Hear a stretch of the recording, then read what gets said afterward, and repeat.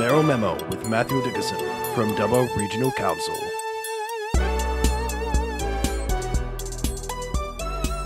Ninety-three point five Triple M. It is Jodi and Matho for breakfast, and uh, it's great to have a chat once more to the mayor of Dubbo, Mathew Dickerson. How are you, mate? I'm very good, thank you. Thank you for having me on, and good always to chat to you and Jodi. Yeah, our pleasure. Our pleasure, mate.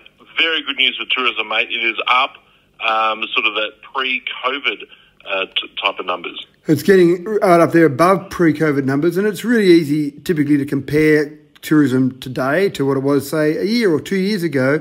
But that's a little bit unfair because obviously with lockdowns, you're always going to hope it's going to improve. But when you start to compare numbers against pre pandemic levels, that's when you get a, a, real comparison. The latest data has just been published by the Tourism and Transport Forum Australia, who knew something existed called the Tourism and Transport Forum Australia, TTF as we like to call it.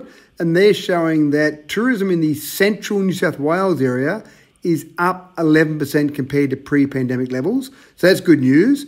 The second part of the news, which I thought was really good, was that the visitation in the under 30 years of age brackets, that's you and Jodi, for example, Matho, in that bracket, the tourism has gone up by 11.7%. Now, for Dubbo, for example, that's usually more the slightly older bracket because we find that the visiting friends and relatives market, the VFR market, is our most popular market. So that's when people have got their families, they've got some kids, they're a little bit older, and they come and visit Dubbo. But that under 30 market means we're really capturing a different part of the audience. So that's good news.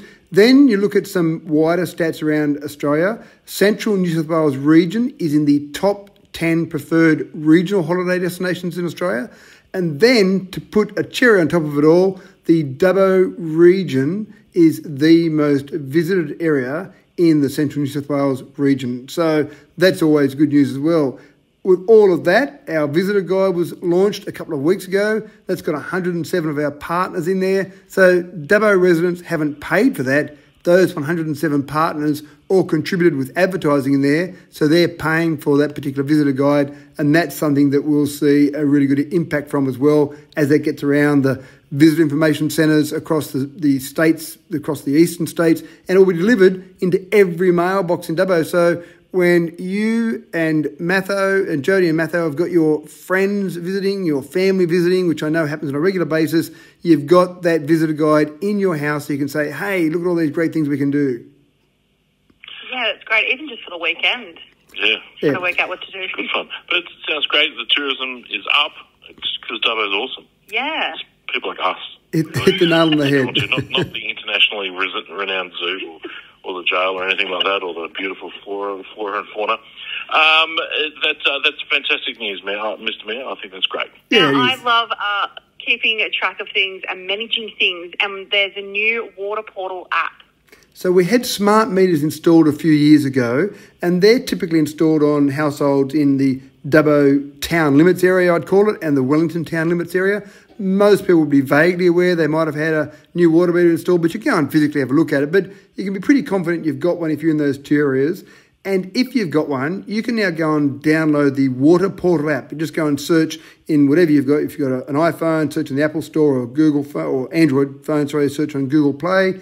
Water Portal, uh, P O R T A L. If you search on that, you'll find that app, download it. You put some details in about your property, for example, and once you've got that, you can then look at your water usage in near real time. The data is uploaded from your smart meter every day, so you can see your water usage yesterday, last week, last month.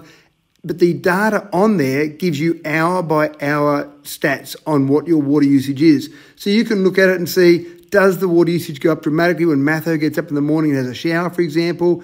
Is it when I'm watering my garden? What's using all my water? Then you can also set up SMS or email alerts, and that'll tell you whether suddenly water usage has gone up. Has someone left a tap running? Is there a leak somewhere? So you can really manage that. The whole idea of this, obviously, is to try and reduce your water usage. And the old saying is, if you treasure it, then you measure it. So if you want to actually go and see how you can reduce your water usage, then first of all, measure it, look at it, analyze it, and then you can actually start to reduce it. Yeah, no, that's great. It's not going to be good for my hair washing days. Uh. Isn't that every day, Jodi? Twice a day? yep.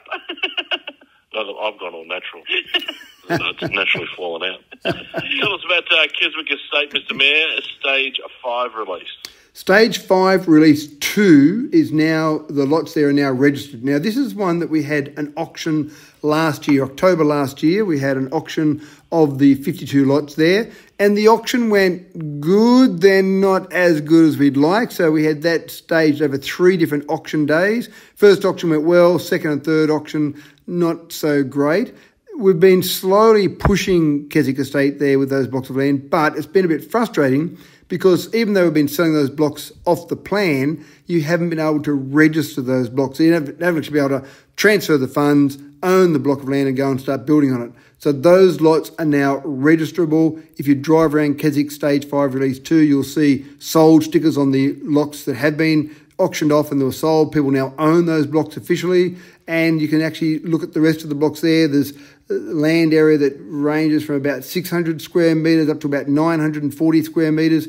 Various prices on those. You can look on the council website, and you'll see a bit of advertising, a bit of social media activity, etc. It sounds like all going ahead. Yeah, great. We're growing. We are growing exponentially. Thank you so much, Mayor of Dubbo, Mathew Dickerson, for joining us today, and uh, we'll see you in a couple of weeks. Fantastic. Always great to talk to you too.